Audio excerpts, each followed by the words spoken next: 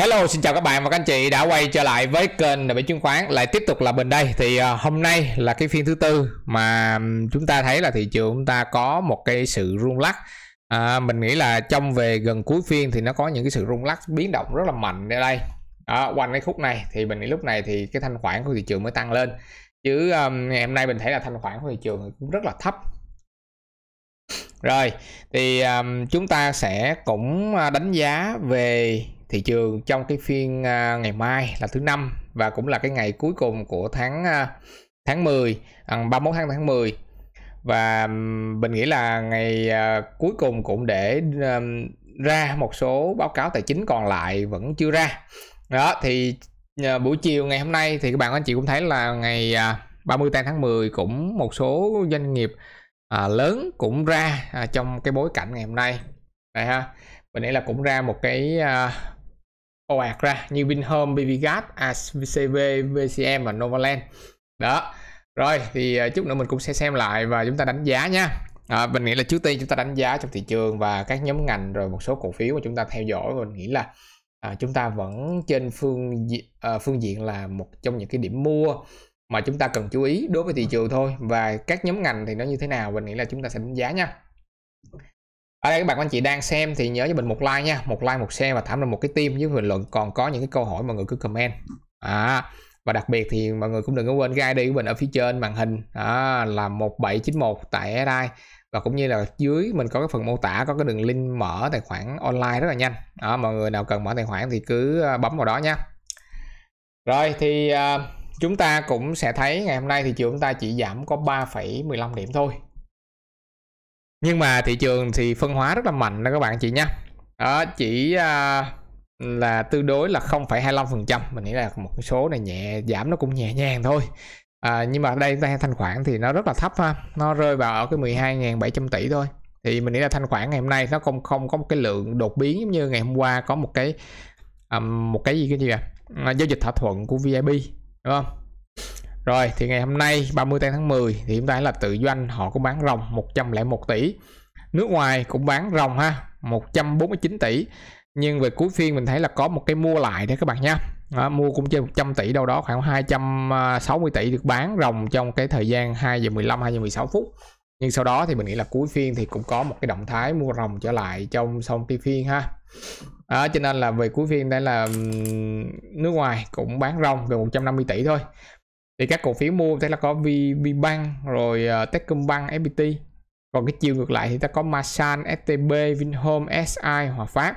À, nhưng mà chúng ta thấy là về cổ phiếu Vinhome thì rất là cay đúng không như vậy thì cay sao? Cay là cái việc mà như là anh Vượng họ mua à, gọi là mua cổ phiếu quỹ nhưng mà cổ phiếu Vinhome thì lại tiếp tục giảm. Thì à, trong ngày hôm nay các bạn thấy là như Vinhome cũng ra về báo cáo tài chính ở đây mình nghĩ là báo cáo tài chính của Vinhome thì về mặt tăng trưởng thì gọi là tăng trưởng âm cũng không có tăng trưởng ha âm ha. Thì mình nghĩ là lợi nhuận thì có nhưng mà tăng là tăng trưởng âm. Nhưng mà xét về 9 tháng của năm 2024 mình nghĩ là như này thì với bất động sản thì cũng ok rồi đúng không? À, mình nghĩ là đây là một trong những cái cái cái lợi nhuận trước thuế như thế này cũng khá là lớn với những cái doanh nghiệp trên ờ, trên sàn. Mình nghĩ là trên sàn mà các cổ cổ phiếu này mà lợi nhuận như thế này mình nghĩ là khá lớn các bạn nha rồi thì uh, ta có như thế giới di động nè Novaland Novaland thì mình nghĩ là có tăng nhưng mà về về uh, trong 9 tháng thì vẫn âm lợi nhuận trước thuế là vẫn âm nhưng mà vẫn là con số âm nha các chị bằng nhưng mà chỉ lưu ý trong 9 tháng trong năm 2024 thì như DG cũng là âm nè đó. Âm là lỗ trong cái uh, quý 3 rồi gas uh, gas thì cũng có tăng trưởng nhẹ 6% VA cũng có tăng trưởng 7%. Đây SMC các bạn thấy là à, SMC là cũng là một cái doanh nghiệp mà các bạn anh chị cũng sẽ thấy được là gì? đó, là Novaland vẫn chưa trả đồng nào cho SMC à, trong số 42 742 tỷ nợ xấu à, và chủ nợ bí cực phải bán hàng loạt tài sản để duy trì hoạt động có nghĩa là bạn thấy là SMC họ cũng bán tài sản để duy trì hoạt động cho nên là tại sao mà các bạn anh chị thấy là là là SMC phá đáy à, dài hạn luôn rồi đó. Thì 9 tháng đầu năm hôm nay thì mình thấy là 9 tháng đầu năm thì vẫn à, lãi ha vẫn lãi so với lại à, 9 tháng của năm 2023 rồi ok. Nhưng mà cái quý 3 này thì à, à, gọi là các bạn thấy là âm này nó cũng nhẹ hơn so với lại âm cái quý 3 trong năm 2023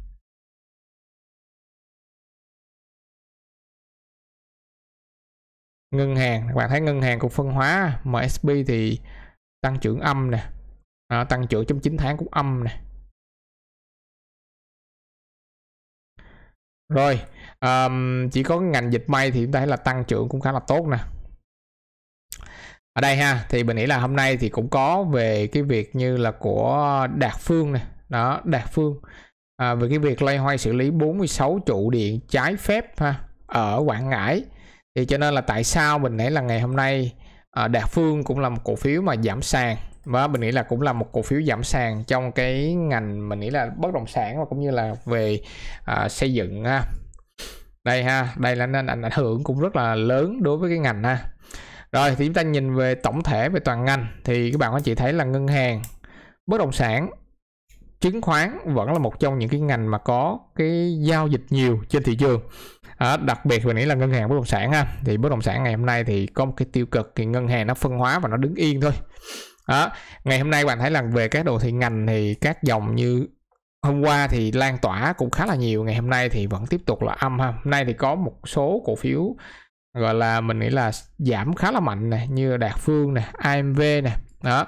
Rồi những cổ phiếu giảm mạnh như bfc nè đó, các bạn thấy là giảm trên 3% là giảm mạnh ha. Vlb nè đó.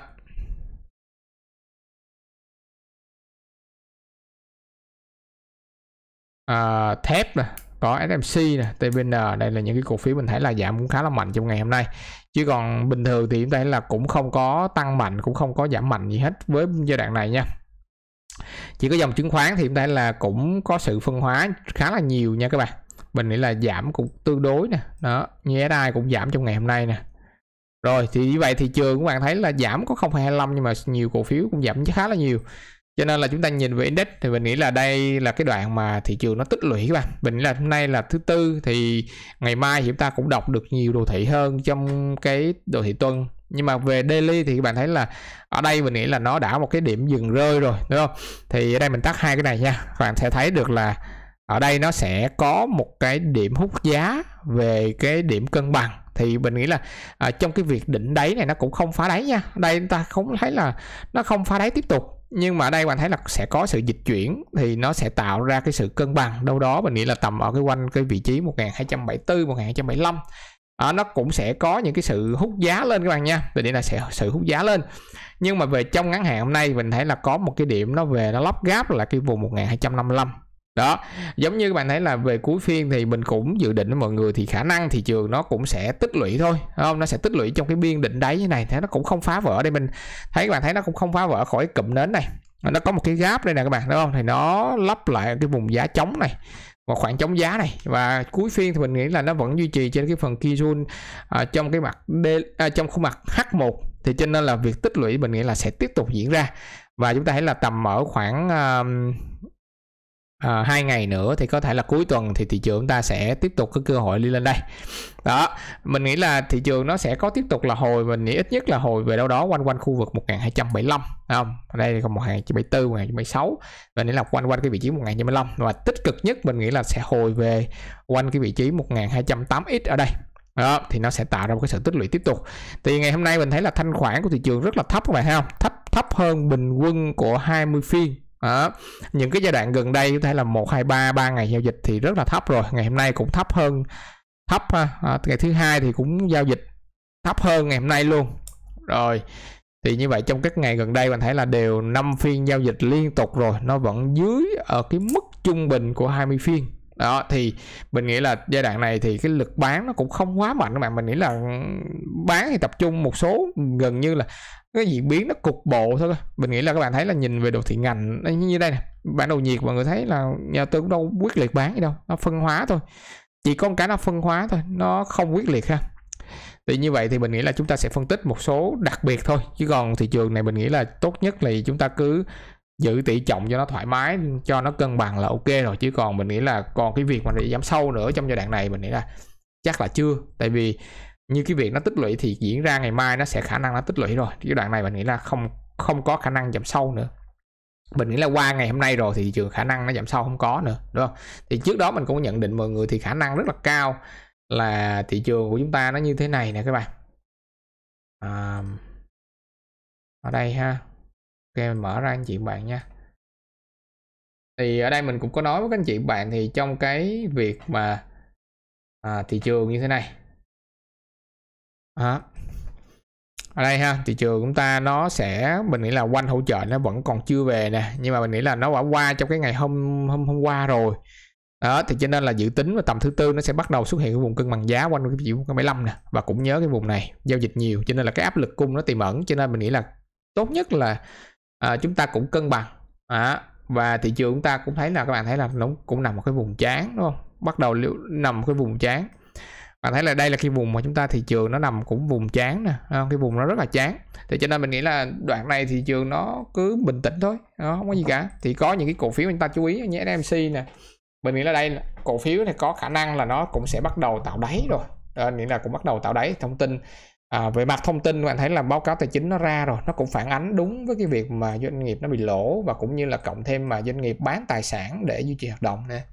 Đó mình nghĩ nó tạo đáy rồi thì có nghĩa là mình nghĩ nó không không chết nhưng mà về cơ bản thì nó sẽ là khó khăn trong ngắn hạn rồi. Thì cho nên là về cái mặt đầu tư thì mình nghĩ là đây chúng ta nếu mà bạn anh chị giao dịch thì nó sẽ nắm rất là lâu ha cầm rất là lâu nó không thuận lợi cho chúng ta nắm ngắn hạn được thì ngày hôm nay các bạn thấy là Đạt Phương cũng là một cổ phiếu mà nó có thông tin tiêu cực về cái việc đó. Mình nghĩ là cái việc đó nó nó chỉ là một trong những cái việc đây các bạn thấy đọc nè.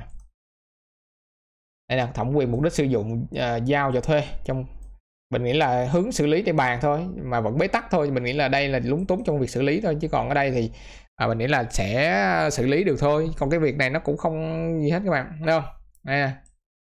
À. ván đã được đóng thuyền cho nên là hệ thống đã được thi công mà suốt 7 năm rồi.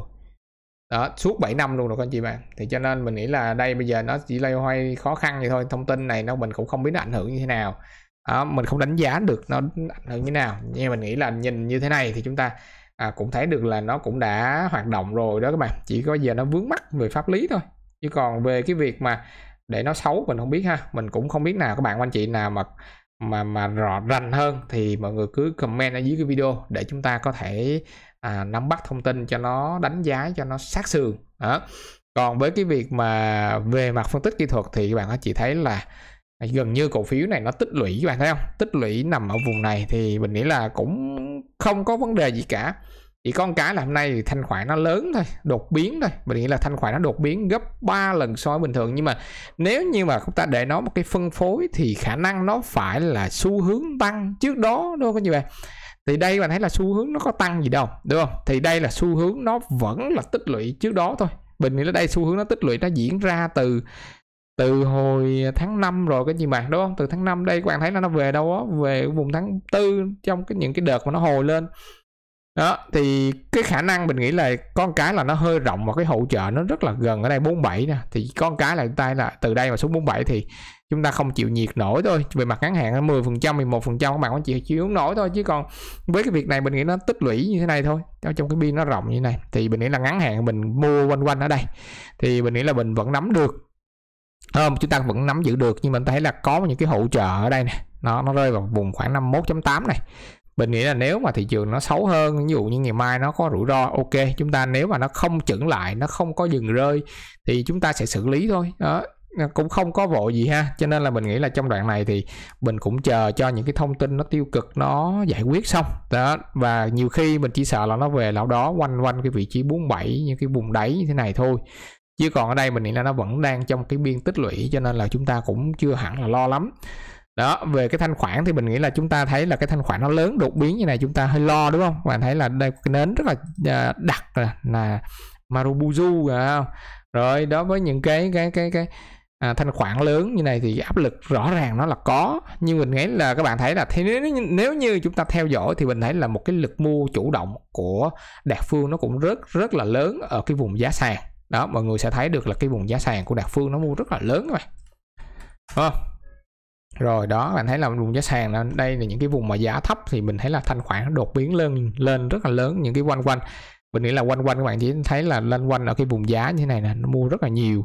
Đó, những cái vùng giá này mua cố gắng mua lên rồi bị đạp xuống. Đó, nhưng mà các bạn thấy trạng thái bắt đầu nó sẽ yếu dần, đúng không? Trạng thái ngày mai đây là hồi sáng rất là mạnh nè, bây giờ sáng ngày mai bắt đầu nó sẽ yếu dần và phải thấy là cách rất là xa. Cho nên là cái trạng thái này mình nghĩ là đang quá bán không? Quá bán. À đây nè, các bạn thấy không? Bollinger Band nó mở rất là rộng nè đó đây mở qua cái trạng thái qua bán. Mình nghĩ là với cái sự mất cân bằng này nó cũng sẽ siết lại các bạn không? Nó cũng sẽ siết ben lại. Đó đây nó mở rộng ben ra nè. Rồi thì mình nghĩ là chúng ta cần theo dõi tiếp thôi chứ còn ngày mai để chúng ta đưa ra cái phương án xử lý thôi. Đó, ngày mai chúng ta mới biết được. À, còn về thông tin mình nghĩ là chúng ta đợi ha. Đây ha nay có những cái này ha. Và Vinhome nữa bạn đúng không? Vinhome nay báo cáo tài chính cũng khá là ok nhưng mà và các thấy là Vinhome nó cũng vẫn tiếp tục là giảm xuống nè đi xuống ha. Nói chung là các bạn thấy là như mình chia sẻ thì cái khả năng thì chúng ta thấy là báo cáo tài chính như vậy thì cũng khá là tốt rồi. Bất động sản như thế này thì về bất động sản mình nghĩ là chúng ta cũng đã thấy là cổ phiếu nó như thế này là phản ánh là đúng với cái doanh nghiệp trong cái quý 2 đúng không? Trong cái cái cái quý 3 rồi. Đó. Thì cho nên là việc nó giảm như thế này nó cũng hơi tiêu cực tí và đặc biệt thì à, mua cổ phiếu quỹ bạn thấy là cũng đã diễn ra mấy ngày rồi. Ở trong những cái ngày mà diễn ra thì toàn là Vinhome giảm thôi. Các bạn anh chị cũng sẽ đặt câu hỏi là tại sao mà mua cổ phiếu nó giảm mua cổ phiếu quỹ giảm mà ha? Rồi thì như vậy thì à, chúng ta thấy nhiều lý do đó các bạn nha. Nhiều cái lý do như là bây giờ nó giảm giá để cho anh vượng mua. Rồi nhất rất là nhiều lý do. Rồi thì mình nghĩ là ở đây thì chúng ta thấy là cũng có một cái giao dịch rất là tốt của Vinhome trong đoạn này. Và đặc biệt thì nó cũng có một sự hoảng loạn phân tích kỹ thuật nè và có một cái sự cân bằng cho một cái trạng thái về mặt tâm lý, mình nghĩ là đây ha. Thì mình nghĩ là về cổ phiếu này đang cũng là một trong những cái hỗ trợ trong ngắn hạn, nhưng mà vì vì mình nghĩ là ở đây chúng ta thấy cũng hỗ trợ đâu đó khoảng quanh cái vùng này. Cho nên là mình nghĩ là cái vùng ô màu đỏ này nó sẽ là một cái vùng mình nghĩ là nếu như các bạn anh chị cần mua thì chúng ta mua gom. Mình nghĩ là nghĩ là mua gom thì nó sẽ là một cái vùng giá cũng sẽ rất là lâu nha, không có nhanh được đâu nha các chị bạn. Nó mà giảm như thế này thì nó cũng sẽ rất là lâu đấy. Nó cũng sẽ chậm chạp á cho nên là mình nghĩ là chúng ta sẽ nên đợi chờ đợi thôi. Mua xong chúng ta sẽ chờ đợi ha. Chứ không không vội được đâu trong giai đoạn này nha các anh chị bạn nha. Rồi đó là Vinhome. Và chúng ta qua cổ phiếu ngân hàng á. Mình nghĩ là đây chúng ta cũng nhớ có những cái cổ phiếu đặc biệt trong ngày hôm nay thôi. À, ngân hàng thì mình nghĩ là các bạn anh chị thấy là cũng kéo về cuối phiên. Đó, nhìn chung về tổng quan thì nó cũng là một trong những cái ngành có sự phân hóa trong các ngành. Mình nghĩ là trong đoạn này nó khi mà tích lũy nó sẽ phân hóa rất là nhiều. Cho nên nó tạo ra những cái nến như thế này. Và chúng ta thấy là ngày mai bắt đầu nó sẽ xuất hiện một cái trạng thái à, gọi là mất cân bằng. Tách cái Tican và Kiju ra thì nó tạo ra một cái trạng thái hút giá. Có nghĩa là nó sẽ tạo ra cái trạng thái cân bằng trong ngắn hạn trở lại. Đó nó sẽ hướng về đâu đó vùng 226 này. Thì cho nên là mình nghĩ là khả năng thì các nhóm ngân hàng này nó sẽ tiếp tục như một cái trạng thái là hồi phục tiếp tục ha. Như mà BB rồi như Techcombank thì mình nghĩ là sẽ tiếp tục cho một cái đợt hồi trong ngắn hạn. Đó, thì có thể là chúng ta thấy là các cổ phiếu ngân hàng nó sẽ tạo ra một cái điểm à, nhấn cho thị trường. Rồi à, về bất động sản thì chúng ta thấy là đã đang và điều chỉnh trong một cái vùng hỗ trợ rồi. Đây là vùng thứ nhất nè đây là lần thứ hai và chúng ta thấy là vẫn giữ được cái hỗ trợ này. Thì cho nên là mình nghĩ là bất động sản nó cũng sẽ có một cái nhịp tích lũy trở lại nha mình nghĩ là bất động sản nó sẽ tạo ra một cái nhịp tích lũy trở lại. Đầu tiên thì những cái cổ phiếu như Vinhome này BDR đất xanh này DIG nó cũng tạo ra một cái trạng thái tích lũy rồi. Đây, nó cũng trạng thái tích lũy rồi, nhưng mà xu hướng nó là xu hướng giảm của DG đó. DG là lỗ các bạn đâu đó, âm dòng tiền luôn rồi.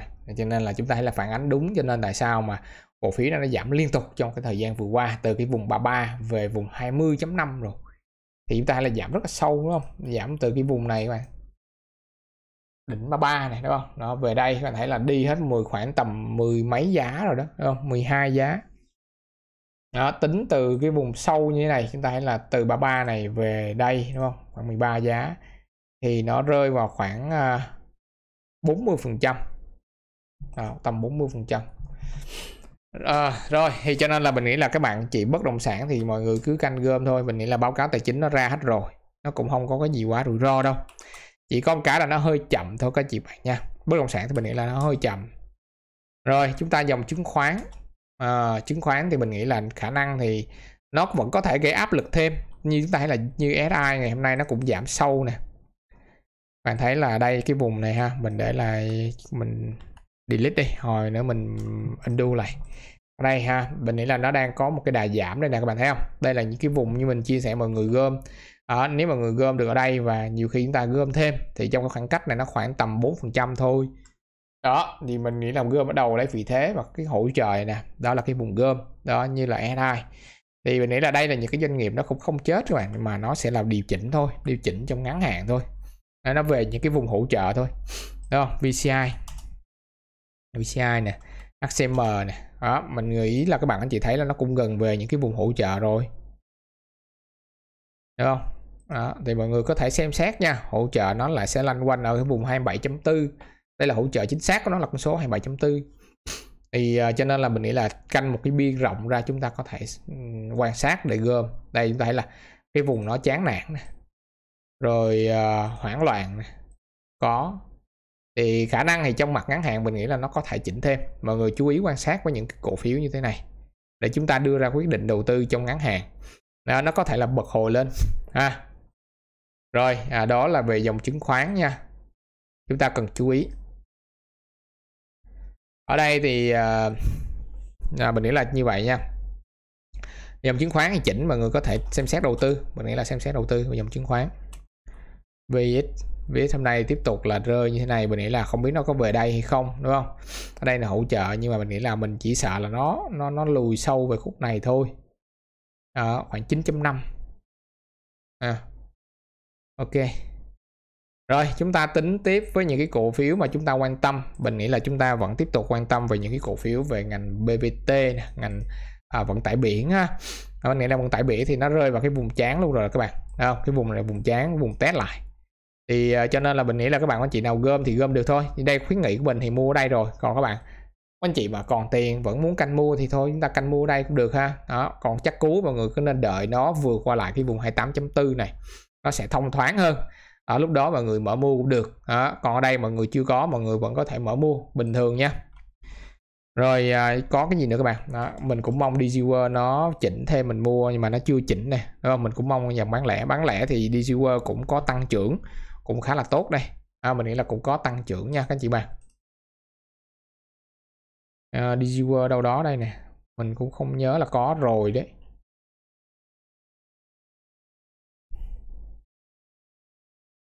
Đây mở đi lưu g.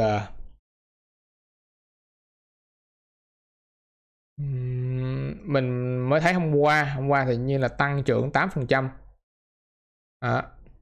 Mà đây nó cũng không thể cập nhật cái trên đây các bạn đây nè. Âm ha. À, dòng tiền kinh doanh quý 3 âm một ngàn mấy trăm tỷ nè.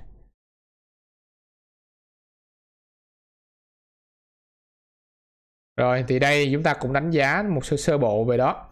Thì cho nên là chúng ta thấy là về các cổ phiếu bán lẻ thì nhưng mà đến lưu g thì cũng có tăng trưởng cho nên là chúng thấy là cổ phiếu nó tăng à, rất là xa rồi cho nên là khả năng ở đây mình nghĩ là nó chỉ đánh ngắn hạn thôi các bạn đánh ngắn hạn thì có hỗ trợ thì chúng ta cứ canh mua thôi. Nó cũng không quá rủi ro lắm các bạn. Nhưng mà các bạn thấy là cái biên định ở đây thì rất là gần rồi chúng ta cần lưu ý thôi nó khoảng 4 giá thôi. Đúng không? Vùng uh, hiện tại là 66 mình nghĩ là hỗ trợ nó quanh tầm 65 nè 65 65 cho tới 65 năm. Thì quanh quanh 65 66 thì mình nghĩ là cũng ok tính là 65 năm đi ha. Lên 70 từ cái vùng đỉnh này nó rơi vào khoảng tầm 7 phần trăm ừ, cũng được các bạn mình đến đánh ngắn hạn các bạn anh chị cũng chú ý được. Rồi đó là những cái góc nhìn mình nghĩ là về thị trường. À, những cái cổ phiếu về ngành dịch may nè. Dịch may ngày hôm nay có một cú rủ của TNG à, Gil SC SC hôm nay có bật tăng ha. BCM à, Masan đây các bạn thấy là như là Masan nè. Các bạn anh chị nào ngắn hàng cũng thể chú ý được nó mình nghĩ là nó cũng đã về hỗ trợ rồi nó cũng không về lần nữa đâu mà nó sẽ tích lũy như thế này thôi. À, cho nên là những cái điểm thấp này mọi người cứ gom à, canh lên đây bán thôi. Đó t cộng là như vậy ha. Rồi thì uh, cơ bản mình nghĩ là thị trường cũng có thể là sẽ tiếp tục là một trong những cái vùng tích lũy và nó sẽ tạo ra những cái điểm hồi. À, những cái điểm hồi thôi cho nên là vẫn chưa có phải là nguy hiểm lắm với thị trường trong đoạn này. Thì cả nhà cũng lưu ý nha rồi mình nghĩ là chúng ta cũng giữ về tỷ trọng cho nó an toàn. Để khi có những cái nhịp hồi rồi thì chúng ta giữ cho nó an toàn. Đừng có gọi là quá mua đuổi ha. Thì đoạn này bạn thấy là những cái cổ phiếu như HVN ngày hôm nay cũng tăng rất là tốt. Bạn thấy là tăng lên thì nó cũng còn một cái biên đỉnh ở trên đây nó sẽ bị áp lực thôi. Đó bạn thấy là từ đỉnh khúc này nó gặp áp lực trong cái vùng biên này. Đó cho nên là khi nó lên nó cũng sẽ bị rủ các bạn. Cho nên là à, về khả năng mình nghĩ là nó sẽ xoay quay cho một cái biên đó, như thế này. Thì cho nên là về cái việc mua đuổi trong những cái đoạn này thấy tăng tăng lên thì nó cũng rất là khó để chúng ta gọi kiếm lợi nhuận trong ngắn hạn. Cho nên là tốt nhất trong giai đoạn này chúng ta đừng có mua đuổi mà chúng ta cứ mua từ từ. Mình nghĩ là cứ mua từ từ ha. Đừng có vội gì với thị trường nha các anh chị bạn nha. Rồi à, và bây giờ thì mình cũng chúc cho mọi người buổi tối thật nhiều vui vẻ và hẹn gặp lại mọi người trong những video kế tiếp ha. và ngày mai là ngày cuối cùng của 31 tây tháng 10 tháng 10 là ngày tháng 10 ha. Cũng là ngày Halloween thì các bạn anh chị nào quan tâm thì chúng ta có thể là giao lưu với nhau vào lúc 10 giờ 20 phút sáng. Đó, trên cái kênh đầu bếp chứng khoán chúng ta có thể livestream và trò chuyện với nhau và cũng như trao đổi trực tiếp về những cái điểm mua điểm bán cụ thể và cái hành động như thế nào. À, mình nghĩ là cái bây giờ thị trường à, tài chính này chúng ta là thị trường chứng khoán phải cần có những cái góc nhìn thêm về những cái tình trạng tài khoản của mình nữa chứ không không phải là về điểm mua điểm bán không. Á tại vì điểm mua điểm bán không thì nhiều khi sai nhưng mà chúng ta vẫn còn tiền để chúng ta có thể cover được nó sẽ vẫn rất ok ha.